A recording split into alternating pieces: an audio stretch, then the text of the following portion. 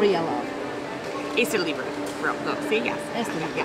Um, well, Lonely Hearts Club came from uh, something that happened in my life, which was I had a friend who we all have this friend who stops hanging out with her friends when she gets a boyfriend.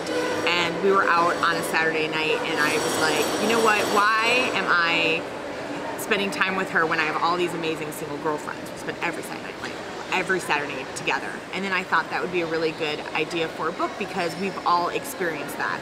Um, we've all experienced heartbreak and then wanting to just give up on love altogether. Um, it's a very immediate reaction, but it's not something that, you know, we should all do for the rest of our lives. Do you wanna, and then I can continue. Esto es un poco como co- para comentarles que esta historia surge a partir de una experiencia propia, porque cuando yo era chica también pues ocurrió lo mismo.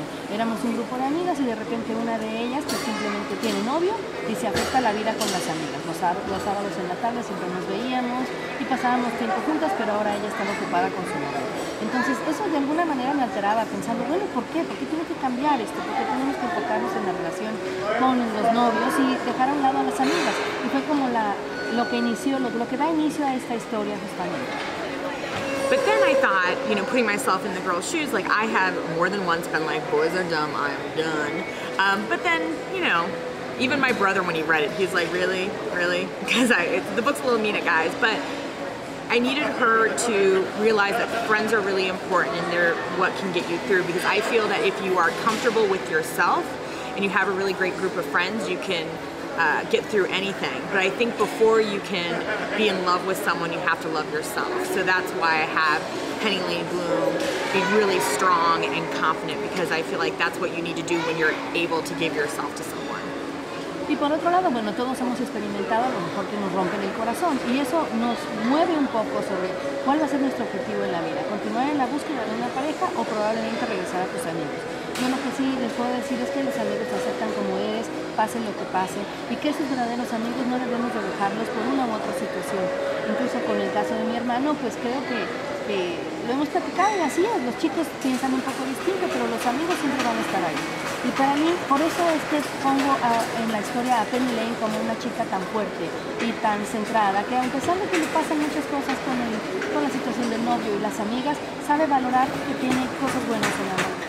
How is it that if Penny Lane was so sure that she didn't want to have anything to do with boys after what happened with Nate, uh, how is it that out of the blue she started feeling so strongly that love for Ryan? Yeah, it's it's funny because I needed her to just be like just so disgusted at men, and it's slow, gradual through it, you know, because he's always been a good guy, but he's never been someone she ever considered to be a boyfriend because he was with someone, and you know, there's there's something very funny that's said in the book that once someone said to me once about how I'm always like really great friends with like gay guys or my friends' husbands and and one of my friends like yes because you're not going to be hurt by them because there's no there's no way that you know you're going to be like your heart broken.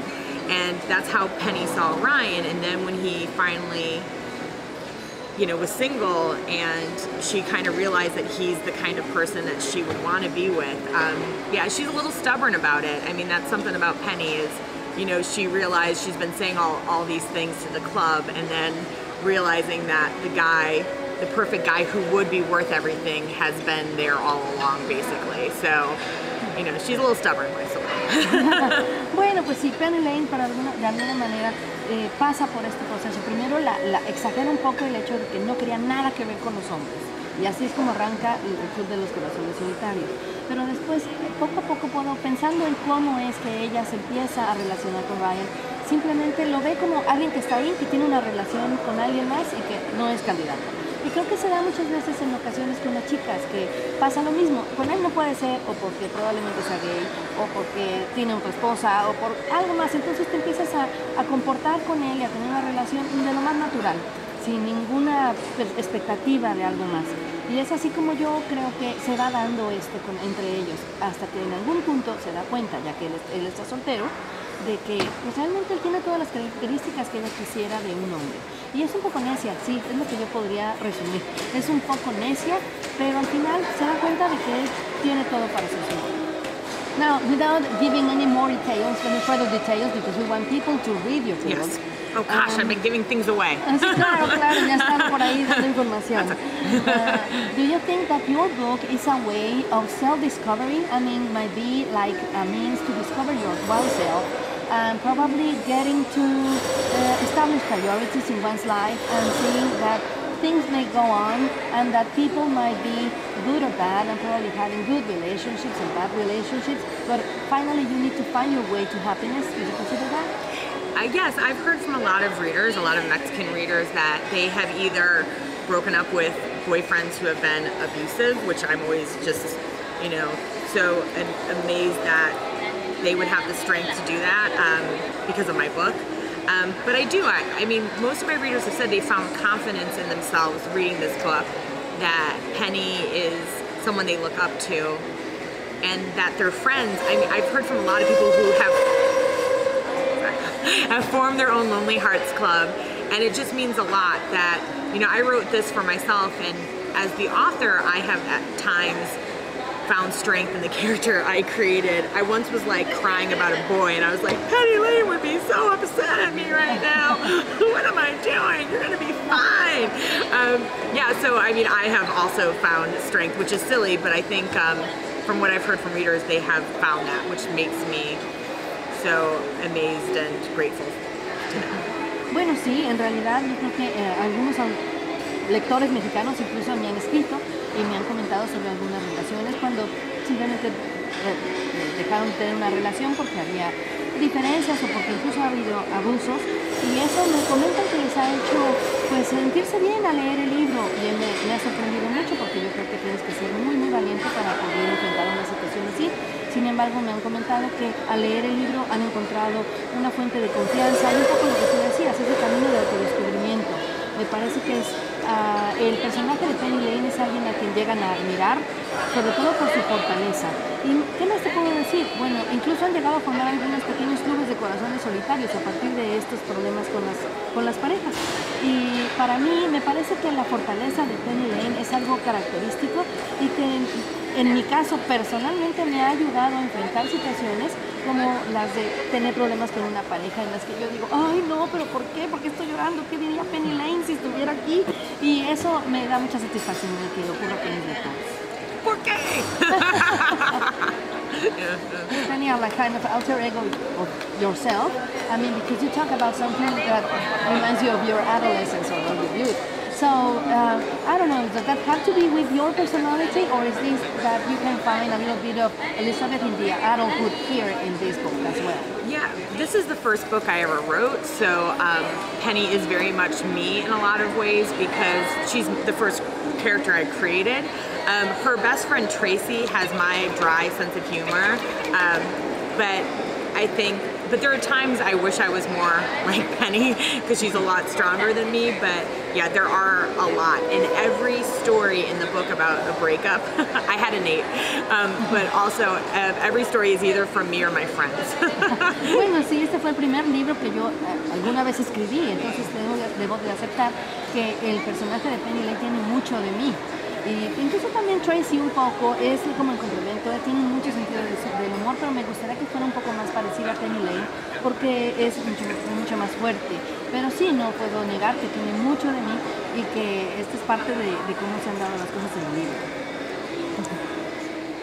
so in your books, you say you mentioned uh, that you wanted to to make all this story. You wanted to get at some time of your life to get away from men. Yeah. I mean, that you didn't believe in them, but later on you came back. you just started getting along with them. So why was that? I mean, why did you decide at one point of your life to simply have nothing to do with them? You know what's funny? I'm, I'm currently on a break now. Ugh, dating in New York City is, is, is muy mal. um, De hecho, ahora estoy en proceso de una relación porque salir en Nueva York es muy mal. Um, I think because very much like Penny, when you've been in a relationship and then it ends, you just you, you don't you hate how you feel. You don't want it to ever happen again.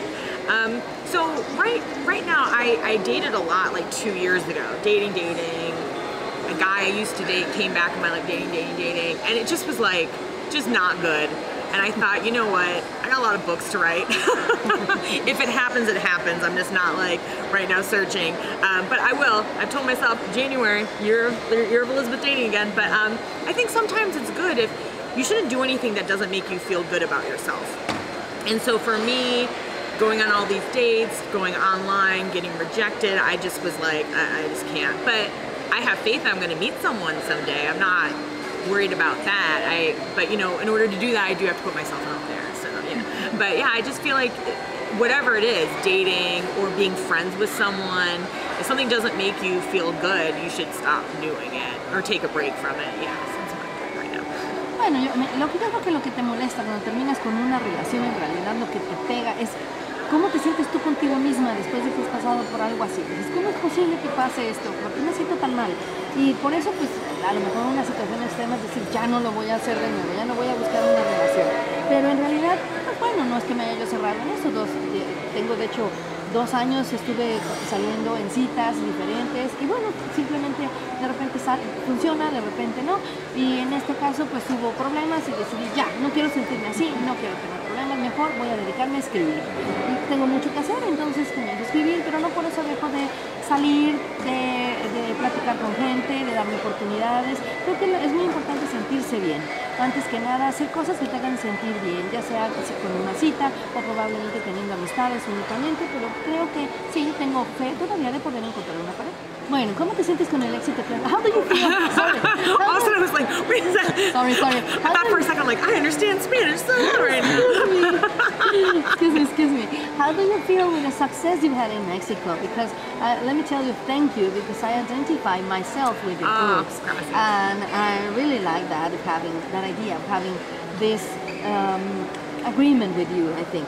Uh, well, first of all, I want to say thank you and to ask about how, how you feel with this success because and how you think that, how you think about having a broken heart might change? How is it possible that when you have a broken heart, you can really change this into a new heart and have a new sturdy heart that might resist any problem? Yes, you know, I love my Mexican readers so much. Uh, they were one of the first group that I kept hearing from a lot.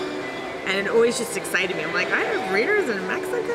What? And then when I came here last year, um, I just was, I kind of had to afterwards just sit in my hotel room and be like, did that just happen? It was amazing. Um, but yeah, I, you know, I'm living proof. I've had my heart broken a couple of times, and I'm, I'm good. Like I, I swear I have no. Uh, um, and I've always gotten by, and, and it's gotten healed by just, you know, first of all, time is a really big thing. Just letting distance happen, and you always kind of get clarity when you've been away from a situation for a while that you realize things weren't actually as good as you make it up in your head.